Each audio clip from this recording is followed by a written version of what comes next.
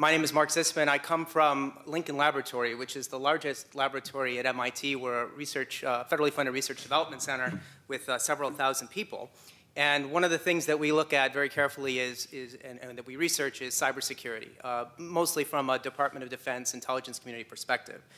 And really, what, what cybersecurity is, at least from the way, way we look at it, is it's all about providing enough confidentiality, integrity, and availability to get, your, to, to get the, the enterprise mission completed, right? We don't need perfect security. What we need is enough security to, uh, to be able to get our missions, our missions completed. And so what does that mean? So, so confidentiality means we don't want the adversary stealing our data uh, any more than we can tolerate. Integrity means that we don't want the adversary to be changing our data, to be distorting it uh, uh, uh, for, for us. And we also, we want availability. We want to make sure that they're not destroying the data or e even making it temporarily unavailable to us and to the, and to the uh, other stakeholders that we have. So let me, what I'm going to do is take a little bit of a threat perspective uh, uh, on this, and then what the rest of the panel is going to do is describe some uh, new techniques, a little bit like what, uh, what, what, Stephen talked about. Some of them will be uh, similar to what he talked about as to how we can, uh, how we can possibly thwart the adversary. So what, I've, what you're seeing here is a, is a pyramid. Uh, this uh, of uh, one view of the threat. This comes from the Defense Science Board, a recent Defense Science Board study. It's online. You can you can read the whole study. But it basically thinks of threats in terms of three tiers, kind of the low-end threat, the mid, mid-level threat, and then the high-end threat. And so what are the differences between these different threat actors, these different adversaries? The folks down at the bottom only have the capability for exploiting uh, vulnerabilities that, uh, that, that, are already known, right? So if somebody knows there's a vulnerability, maybe there's some uh, attack, there's some malware out there, they can take advantage of it, and they can, they can take that, tailor it a little bit, and run it, uh, and, uh, and do some damage to systems. The mid-level threat, what those folks can do is find new vulnerabilities in systems. Okay, they're capable of finding those, finding and creating these, uh, these zero-day attacks for which at the moment, at the moment they use them, there won't be any, uh, any perfect defense. The folks at the top, maybe the nation states, these folks can create vulnerabilities in systems. Okay, so these are, these are the most highly uh, capable and, and best funded uh, folks. So, so what, what can you do? What can, what can a firm, what can an enterprise do to thwart these different kinds of adversaries? The folks at the bottom can be thwarted with good, what we would call good hygiene, right? Good patching, good training of staff uh, to make sure that people understand how to, uh, how to, how to combat uh, social engineering and so on. The people, uh, people in the middle, the folks who are, uh, folks are in the, uh, in the middle, maybe it's the next, some of the next generation security techniques. What Stephen talked about, what our folks uh, up here will talk about, you have a shot at, uh, at, combat, at combating those folks. The folks at the top, there is, no, there is nothing you can do as an enterprise to thwart, to thwart that type of adversary. That adversary can only be thwarted through deterrence, and that's something that needs to be done at a national, international level.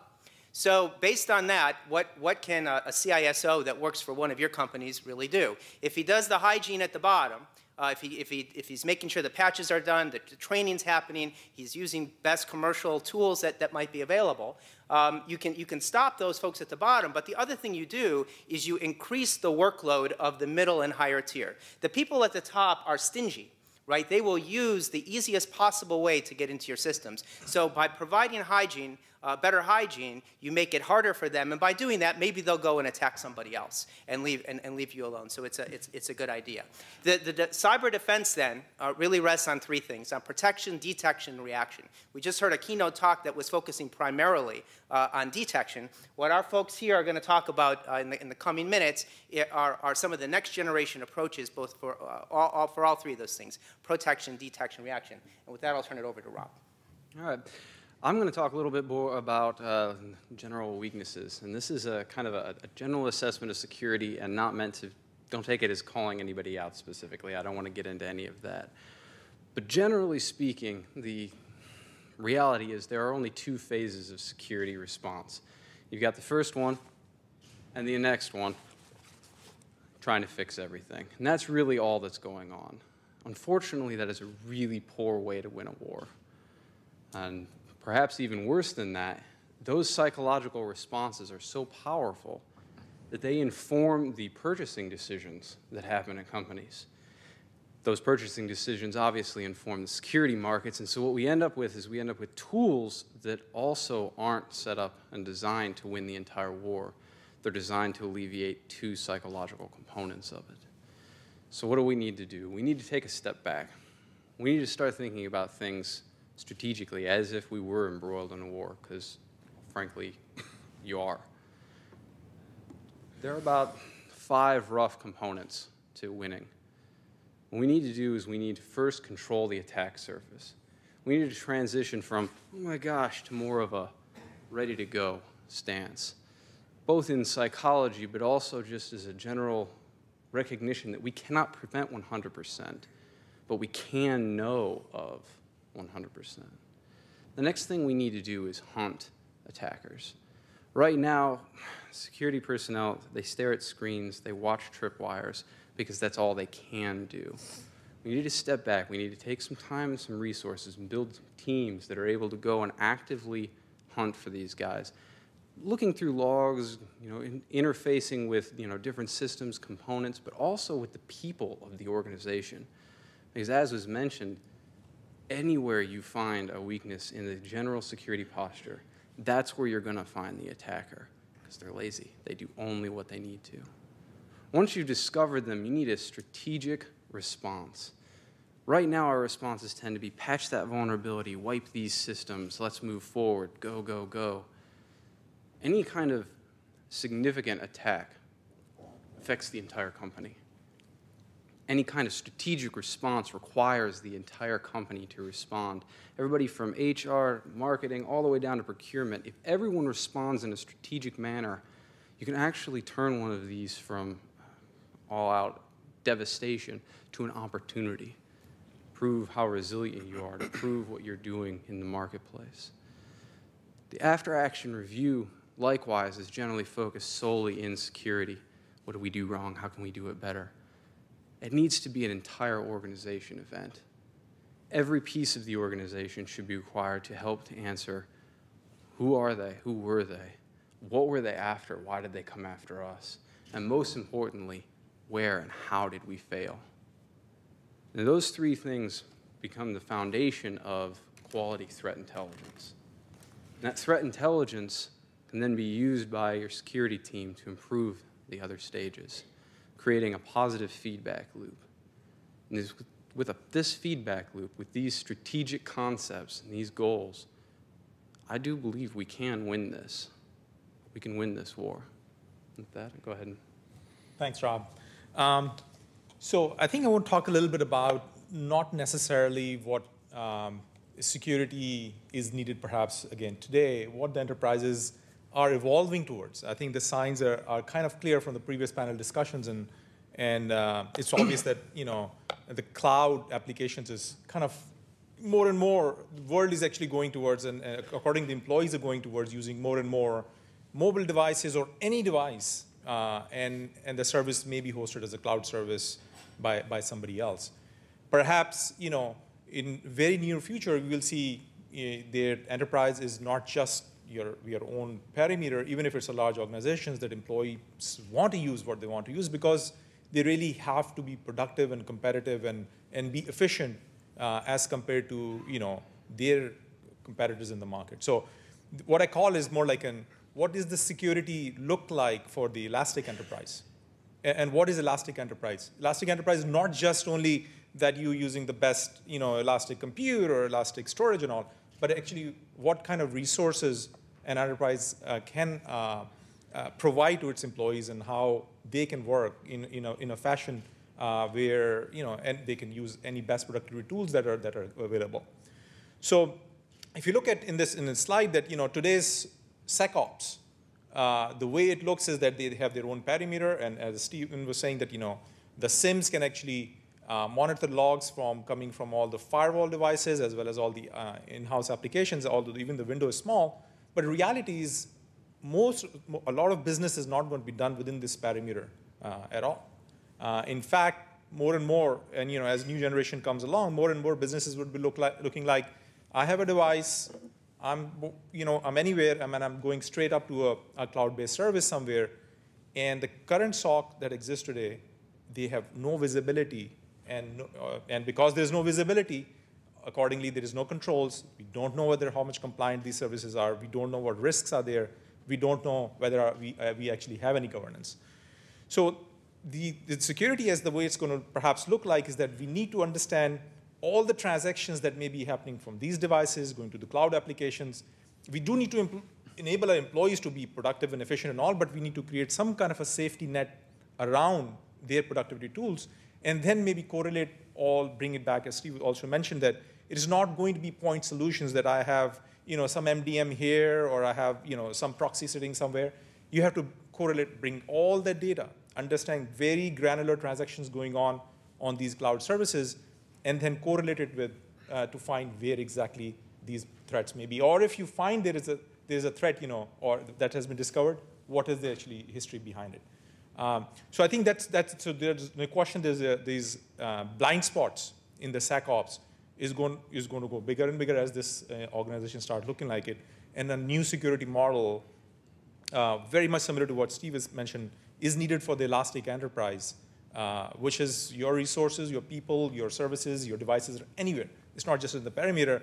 Go figure, you know, what kind of uh, security is going to be needed, and data science, in, in, in my view, is going to play the, a big role uh, in actually solving, solving that problem.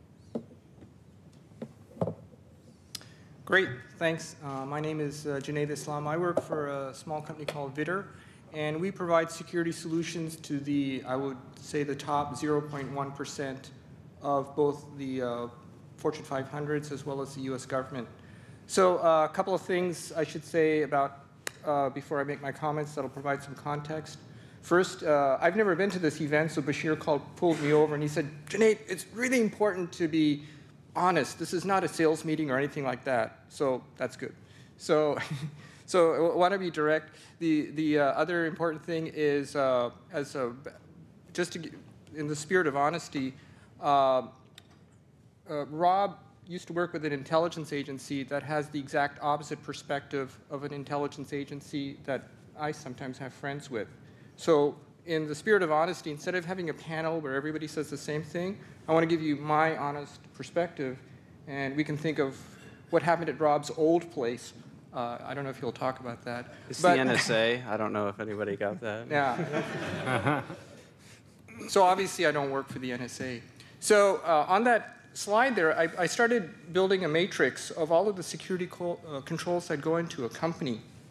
And the, the reason I stopped at 30 is my hands got tired of typing this out. So the, and that's why there's not more than 30, but the average Fortune 500 has easily 40 categories of products, of which there might be hundreds of vendors. So just to be frankly honest, this is just unworkable. I mean, you've got intrusion detection, intrusion management, logging, and, and I fully respect the, the keynote, but those bring even more systems. It's not like they eliminate systems. So I, I really think, and, and this is not, not me personally, there's a lot of people in the government side who are working on all of these issues who feel that the architecture is fundamentally uh, broken and flawed at its core level. The complexity of managing these systems is too high the, the value is too little. It's too easy for directed attackers, to uh, Mark's point, to learn about these systems and thus breach them. So the, the question is what, what to do? So I'm just going to give you one perspective. This is not the only perspective. There's many uh, teams in R&D on, on the intelligence side. We're just one of many teams. But the, the approach that we're taking, and I, and I believe in this, is you know, uh, cloud computing has matured and we've seen all these tools, right? And we, we, the whole morning was focused on that.